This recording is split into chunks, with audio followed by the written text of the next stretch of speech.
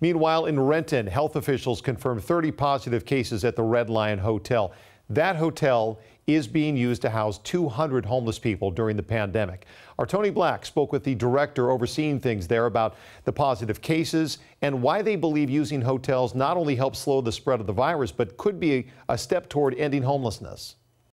Public Health Seattle King County officials say 30 positive cases of the coronavirus have been found at the Red Lion Hotel in Renton this month. What we're hoping we actually are on the other side of this. Noah Fey is with the Downtown Emergency Service Center, which is overseeing things at the hotel for King County. All cases have been effectively, nearly every single case has been asymptomatic, um, and every so far everybody has returned to, to, full health. Fey says the homeless individuals staying at the hotel are all tested regularly through the Seattle flu study. Six days a week of regular proactive surveillance testing, um, which is really remarkable, which is not something that we have access to in any of our other locations. Cases are rising quickly. A State Department of Health report shows 192 reports of coronavirus cases among those experiencing homelessness have been made since the pandemic began.